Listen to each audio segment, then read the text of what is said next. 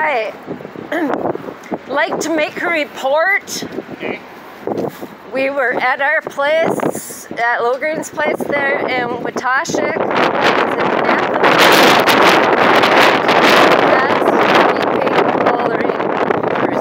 at us again, yelling at us, Okay. kept going past. About about what time? 1.30 Okay. today. Is it, is that really close? Because I can pull a, I can pull a camera from uh, fire. What, You can, What did, what did he? I, I don't know what he threw, some garbage out of the, but, Is it- is but there- he beeped and hollered at us. Is there any order still in place at all? Is there And- any OFPs? No. or- There's nothing? No. But just the harassment? Nothing is current right now. Nothing is current between us right now. Was he by himself? I didn't see that for sure, but we did call the company and we reported it to the, to Napa, Napa, so they know. Is I your, would- Is, is your phone number still the same? Yes. I'll give you a call after I, I'll go pull the cameras from the fire hall, just anything on the fire hall cameras, and then I'll give you a call back.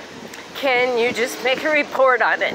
I I would just like you to write up a report that I made a complaint about that. I absolutely can. Okay. So you don't, you don't want me to follow up with you? You can no, you can email me, and I believe you have my email, or you can Yep. call and text. Okay, I'll do that.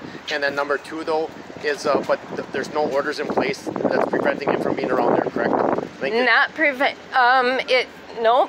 It Okay. just says that Mike should not have contact with him, but it has But- noth- but- nothing else. But here it? he is driving by honking his horn. Yes, he's instigating us again, and we do not appreciate No, this. I This has agree. Happened before. Okay. You know. Yep. You know the whole situation. I'll follow, So, I'll follow up with you a text message, but I'll document what happened. Please do that. report. I will. and and can I call uh, to get that report? Do I just call you, or Yep, how do? You have to go through the sheriff's department. They do all our Okay. record management. Just call and request either Mary, Linda, and they'll throw it your way. Okay. All right. I will do that. Okay. Thank you.